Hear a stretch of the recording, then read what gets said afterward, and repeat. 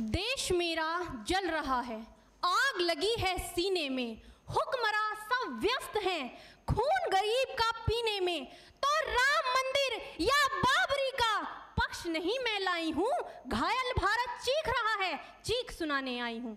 परम आदरणीय सभापति महोदय मंचाशीन निर्णायक मंडल समिति एवं उपस्थित मेरे प्यारे साथियों, मैं आरक्षी खुशबू चौहान, केंद्रीय रिज़र्व पुलिस बल आज सदन की राय से असहमत वक्ता विपक्ष में अपने विचार प्रस्तुत करूँगी। महोदय, दर्द हद से तब गुजरने लगता है जब मेरी आँखों के सामने ताज, पुलवामा छत्तीसगढ़ में शहीद हुए जवानों के शत विशत अजले शरीर के टुकड़े, रेत के टीलों से ऊपर जाती लाशों के ढेर और कश्मीर की खून से सनी लाल रंग की सड़कों के दृश्य सामने आते हैं। उस पर मेरे प्रतिपक्षी महोदय का कहना यह कि मानवाधिकारों की अनुपालना करते हुए देश से उग्रवाद और आतंकवाद को समाप्त किया जा सकता है महोदय, अब तो हमारा तिरंगा झंडा भी हमसे ये पूछने लगा है कि क्या बात है भारत? आजकल फहराने से ज़्यादा मैं कफन में दफनाने के क्यों काम आ रहा हूँ? महोदय, हृदय तो उस दिन फट गया जब बूढ़ी माँ अपने बेटे के चिथड़ों को देखकर बोली कि, साहब, आप तो भर्ती में एक इंच भी कम नहीं लेते, मैं आधा शरीर कैसे ले लूँ?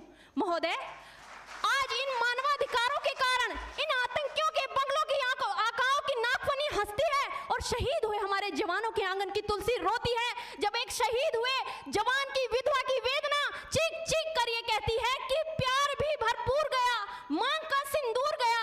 नन्हे नौनिहालों की लंगोटियाँ चली गई छोटी छोटी बेटियों की चोटियाँ चली गई। और आपके लिए तो एक आदमी मरा है साहब, मेरे घर की तो रोटियाँ ही चली गई।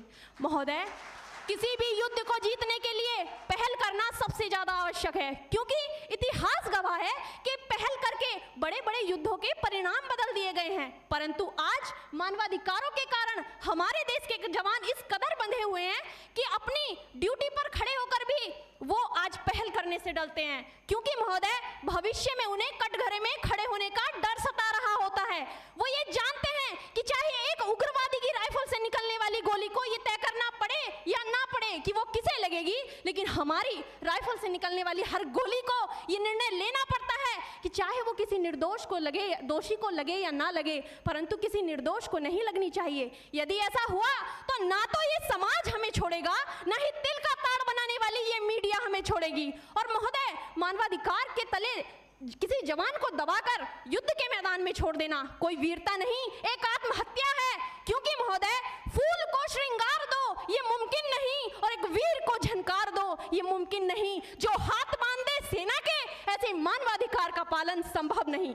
महोदय, आज सत्यनिष्ठा के मार्ग पर चलते हुए भी हमारे देश का जवान इन आतंकवादियों, इन पत्थरबाजों से डरता है। क्योंकि वो जानता है कि उसकी राइफल से निकलने वाली गोली अगर टारगेट को हिट नहीं भी करेगी तो भी 400 मीटर तक जाएगी। और यदि इस बीच वो किसी निर्दोष को लग गई तो महोदय, हमें अपनी नौकरी से हाथ तक धोना पड़ सकता है। और महोदय, अपनी नौकरी को बचाने की खातिर आज ये सोचता है कि चाहे सांप मरे या ना मरे, परंतु लाठी नहीं टूटनी चाहिए। क्योंकि आज हमारे देश के हालात कुछ ऐसे हो गए हैं कि चिरागों को हवाओं में उछाला जा रहा है, हवाओं पर भी रोब डाला जा रहा है। अरे, हम ही तो बुनियाद है आंतरिक सुरक्षा की, और आज हमें ही नौकरी से निकाला जा रहा है। महोदय जब पुलवामा में चवालीस जवान शहीद हुए छत्तीसगढ़ में छिहत्तर जवान शहीद हुए तो कोई भी मानवाधिकार की दुहाई देने वाला हमारे पक्ष में आकर खड़ा नहीं हुआ।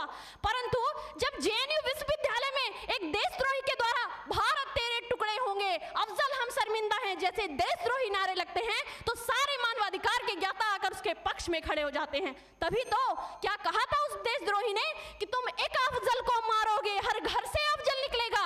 तो मैं भारत की बेटी अपनी भारतीय सेना की तरफ़ से आज ये ऐलान करती हूँ